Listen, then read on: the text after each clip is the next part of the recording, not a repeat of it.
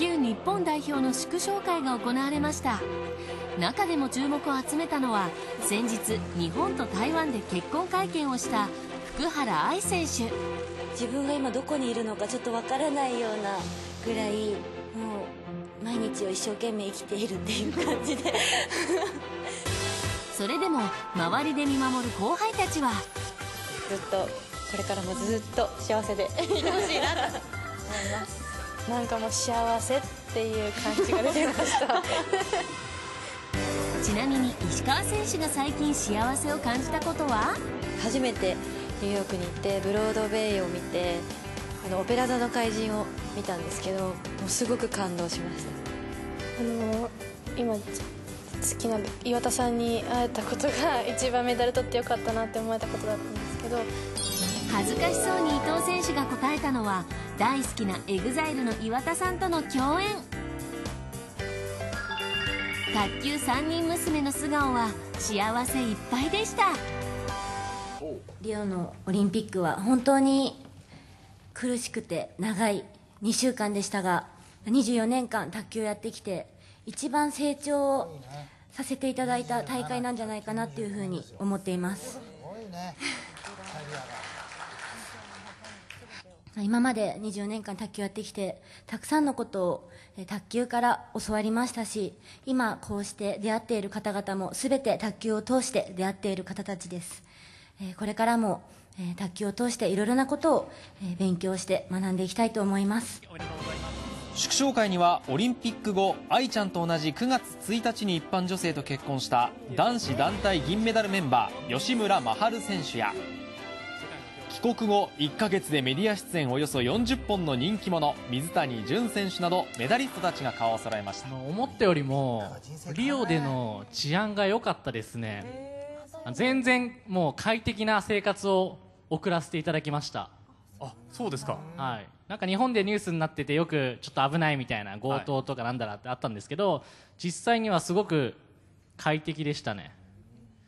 女子選手の方から笑いが起きてるのは何でですかね福原選手はですねあの水谷選手のテンションが高いことに今ちょっと女子選手団笑いが。いや最近やっぱりねテレビでやっぱ声張らなきゃいけないと思って一生懸命今声出してるんだよ俺は。そうなんですね。すごく出してんの。本当はもっと小さいんだよ普段は。すごい声出してるの。共に戦った石川佳純選手伊藤美誠選手からはこんなお話がありました。今現在でなんかその結婚に対するイメージみたいなりましたらお伺いできますでしょうか石川選手からそうですね。私も、はい、結婚はいつかは必ずしたいですしあの楽しみにしてますので、はい、伊藤選手。はい、でも私は、まあ、まだ15歳なのでちょっと、まあ、これからしっかり卓球の人生を歩んでいって、まあ、いつかは、はい、福原さんみたいになれるように頑張ります。お二人には、あのどういった感じでご報告されたんですか、伊藤さんと石川さんにはどういう話されました？か。えーっとまあパラリンピックがあったのでなかなかあの報告はずっとしていなくて会見を見て逆に連絡をくれましたどういう連絡来ましたか？あのご結婚おめでとうございますっていう、はい、連絡をいただきましたすごくお着物がすごいあの似合いですごいあのなんか卓球とはまた違った場面ですごくなんか綺麗なあの、ま、着物と綺麗なお化粧とっていうことですごいあの幸せそうな雰囲気でした幸せが溢れてて、私たちも良かったなと思いましたし、あのはい、ずっとこれからもずっと幸せでいてほしいなと思います。ですから、福原さん、そういったお言葉をもらえると。はいあの先輩思いの2人ですごく嬉しいです日本での会見後台湾でも会見を開いた2人。次々とサプライズが飛び出したんです。大家好，我是胡言爱，很高兴今天见到你们，请多多关照，谢谢。冒頭から中国語で挨拶し会見も中国語で行った愛ちゃんすると会見中ジャン選手から素敵な愛のサプライズが。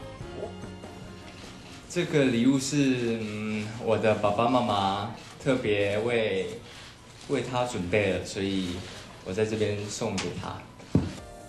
ジャン選手のご両親から愛ちゃんにマフラーのプレゼント。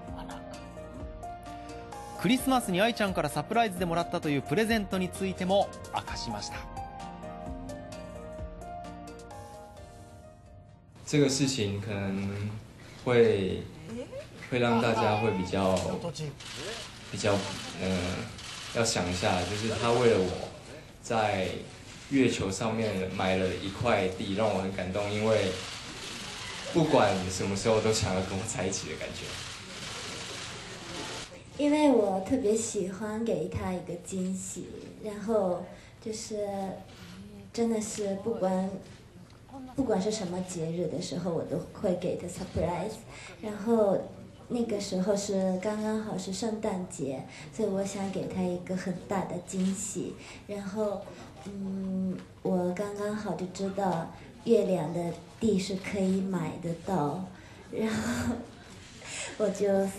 我就送给他一块月亮的地，然后，嗯，同时我也买了一个，所以我们两个是邻居。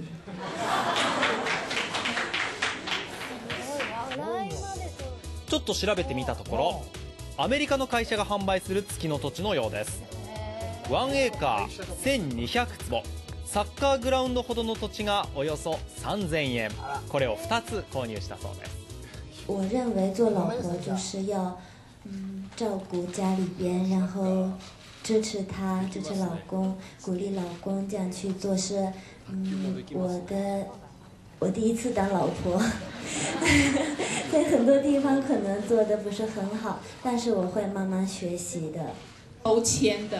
およそ30分の会見が終了。2人が会場を後にしますが。再び登場。記者の要望に応え予定していなかった指輪を披露するフォトセッションに応じたんです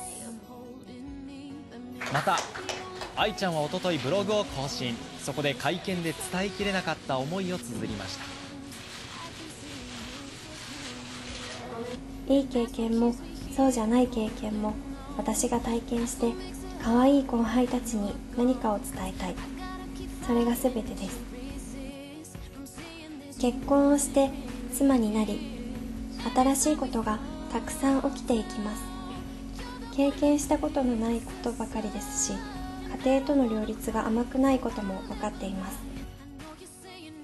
全てを分かった上で次の世代が使えるワクチンのようなものが私から作れたらいいなと思っています。気になるのは愛ちゃんの今後。昨日の祝勝会ではこんなことを語っていました。私はまだ本当に新しい家族っていう軸が全くできていない状態なのでしっかりとその新しい軸っていうものを作り上げてからまた卓球の軸っていうものに戻っていきたいなっていうふうに思っています。会見ご覧になっていかがでしたか？いやなんか言葉がすごい。中国語？堪能ですよね。ねしかもなんか記者会見で笑いを取るっていう なんか本当見習いたいです私も 見習いたい。真面目な話をした後に笑いを取るっていうのは理想的な。川原さんの理想ではおめでたい会見が今後あったとしてもそこでやっぱ笑いを取るぐらいのはい。目標。頑張りたいと思います。そこなんだじゃあねいいじゃない？だからともちゃんも中国語で会見したら。勉強して。日本なのに。日本語もうまく喋れないとこがあるかもしれないのに。はい。い。や素晴らしいしっかりしてるよね。言葉も立ち振る舞いも全てがやはり愛ちゃんそして後輩2人の言葉卓球界の上下関係もいいですねいやマフラー貸してもらおうかな。自分が今どこにいるのかちょっとわからないようなぐらいもう毎日を一生懸命生きているっていう感じで。それでも周りで見守る後輩たちは。ずっとこれからもずっと幸せでいてほしいなと思います。なんかもう幸せっていう感じが出てました。ちなみに石川選手が最近幸せを感じたことは？初めてニューヨークに行ってブロードウェイを見てあのオペラ座の怪人を見たんですけどもうすごく感動しました。あの今好きな岩田さんに会えたことが一番メダル取ってよかったなって思えたことだったんですけど恥ずかしそうに伊藤選手が答えたのは大好きな EXILE の岩田さんとの共演。